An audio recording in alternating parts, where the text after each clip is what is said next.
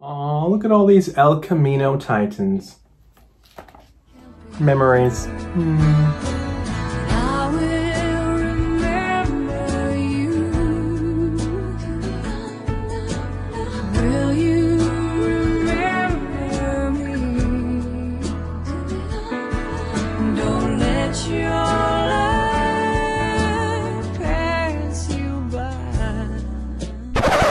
Hey guys, it's Mr. Rodriguez. The 2019-2020 school year is finally over. It was so good to see most of you yesterday at the drive-through graduation ceremony.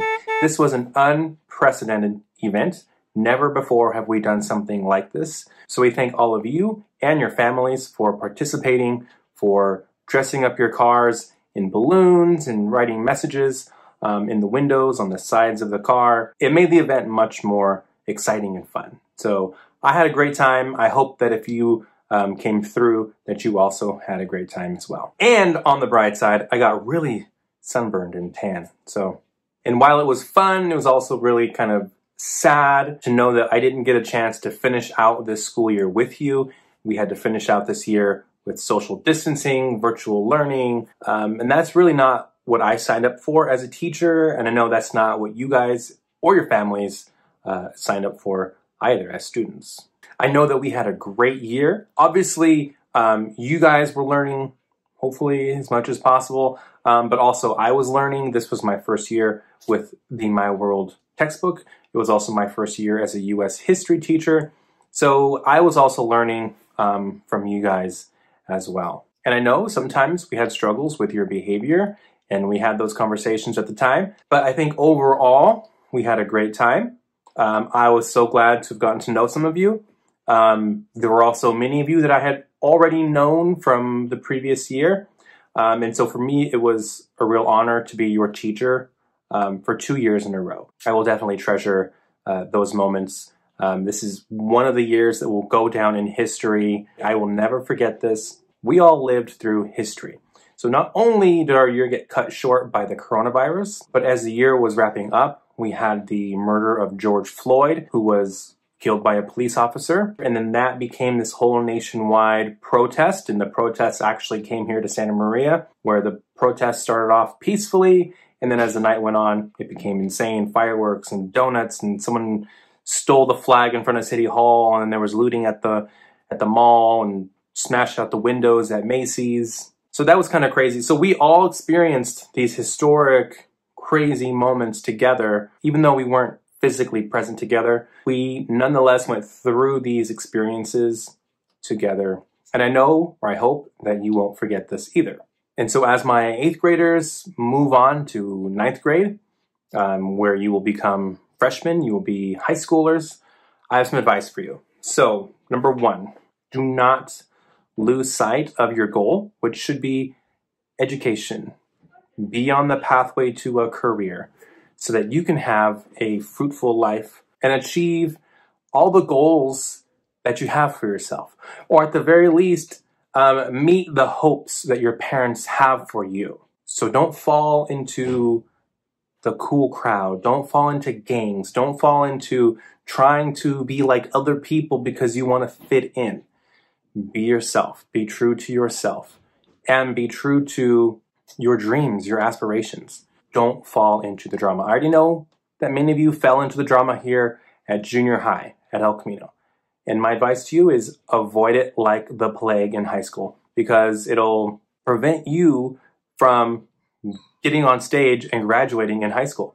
It's one thing for some of you to have not graduated from eighth grade, still kind of not good, but you know, it's not the end of the world. Not graduating from high school is going to be a huge problem for you. So my advice to you, graduate, focus on that goal. It'll be really hard to get a good paying job if you don't graduate from high school, let alone going to college, which you should do. Or at least pursue some kind of trade or career where you use your hands, right? Have some career path in mind going forward. And finally, some practical advice for going into ninth grade. Some of you dropped the ball with your distance learning, right? With learning from home. Some of you got NA, right? You didn't get credit because you weren't checking your emails, you weren't checking Google Classroom, going to Flipgrid, or whatever your teacher assigned you.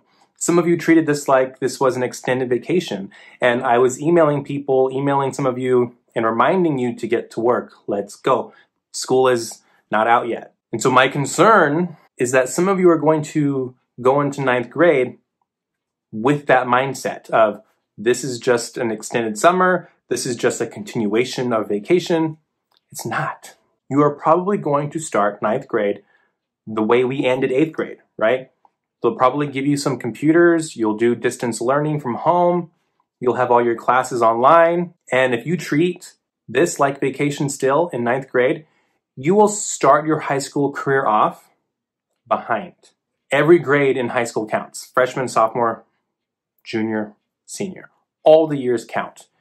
Don't start your high school career off with less than a 2.0 because you didn't want to do work online. So, my advice to you is next year, when the ninth grade starts, take it seriously, log in every day, have a schedule for yourself, do your work because you don't want to get behind. That will put you on track to not graduating. And I'm telling you, it will be very difficult to get a job without a high school diploma. So that's my last rant. That's my final bit of advice to you. I really do mean it when I say that I felt like I was able to connect um, with each and every single one of you, even some of you who kind of drove me a little crazy, because there is something about each one of you that is special and unique. I know that some of you have difficulties or challenges at home. Some of you are bringing baggage to school that most others maybe don't have to bring with them. And so for you, school was a safe place.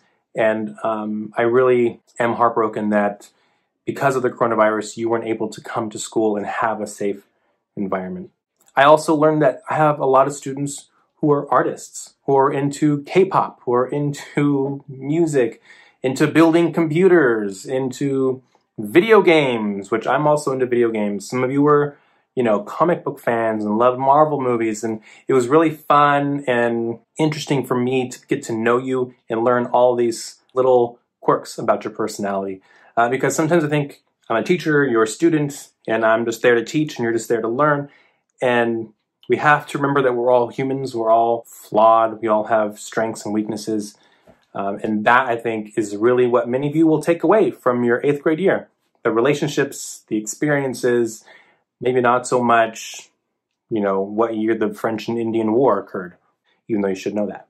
And so, because the year ended so abruptly, there were a lot of things we didn't learn. We didn't get to finish the whole textbook. We didn't even get to Manifest Destiny or the Civil War or Reconstruction. There was more to go um, before the year ended. So that's my regret that we didn't finish. It's my regret that I didn't get to have more experiences with you, to build stronger bonds with you, um, and to create more memories with you as well. So that is weighing heavily on my mind and on my heart. And yeah, it really bums me out. And I know for some of you it bums you out too. And I think it bums out some of you who are pretending like, no, school's over, that was awesome. I really do think that deep down it does bum you out. So I'm asking you to please come back next year um, and visit me. Please sign my yearbook because I have a yearbook because of the coronavirus that is blank. No one wrote KIT, keep in touch, right? Stay cool. Don't ever change.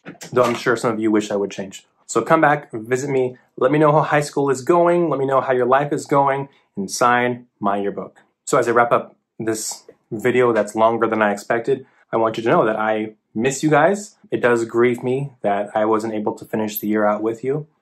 But I hope that you also will take with you that you're forever a Titan. You forever went to El Camino, that we all shared this common experience together, and that you and I were both part of one another's lives forever. And so, as we wrap up, I want to remind you all that education is the pathway to success. Have a great day, Titans. Bye.